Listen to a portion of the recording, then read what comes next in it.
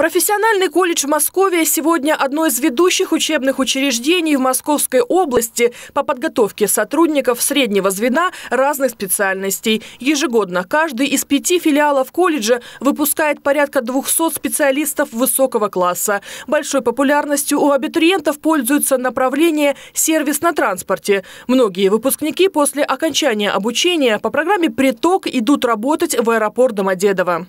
Сегодня больше половины школьников то есть тех молодых ребят, которые сегодня обучаются у нас в Подмосковье, выбирают профессиональное образование и хотят стать специалистами по рабочим специальностям и поступают в колледжи.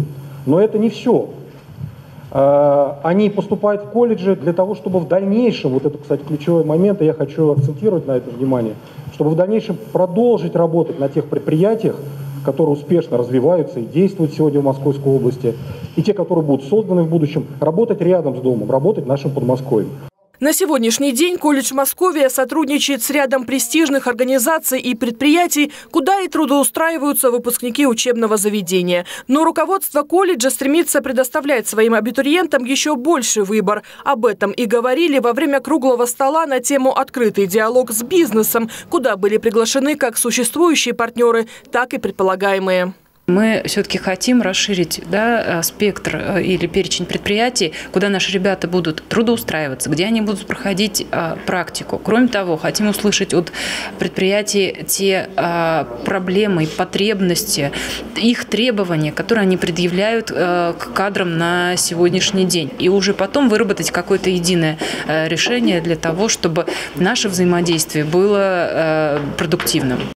Сейчас партнерство с крупными предприятиями у колледжа складывается куда более продуктивнее, чем с мелким бизнесом. Ведь большие организации готовы брать выпускников, невзирая на их опыт работы, и под себя растить специалистов, в то время как малый бизнес не может позволить себе такой роскоши. Об этом во время круглого стола говорил президент торгово-промышленной палаты городского округа Домодедово Александр Пашков. Подготовка кадров и развитие их э, – это не сожалению, не один месяц, а иногда и не один год. И основная проблема у микропредпринимателей а, в том, что мы не можем, не готовы брать сегодня студентов нашего колледжа без а, опыта.